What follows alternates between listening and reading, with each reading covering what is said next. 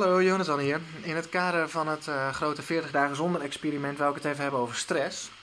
Stress is voor mij en ik denk voor velen met mij een van de redenen om uh, s'avonds naar een jointje of een drankje te grijpen. Uh, en ook een van de redenen om daar niet zo snel mee te stoppen. De angst voor stress in ieder geval.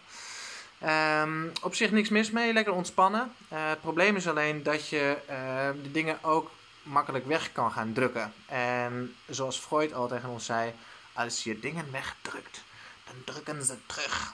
Nou ja, en dat is het effect dan ook. Hè. Je, je hebt nog minder uh, overzicht, omdat je s'avonds gaar en s ochtends ook nog een beetje gaar bent.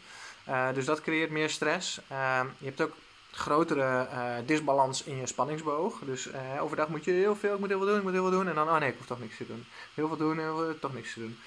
Um, dus dat creëert ook onrust. Um, voor mij is de conclusie voorlopig dan ook, ik heb eigenlijk minder stress. Ik had verwacht dat ik meer stress zou hebben.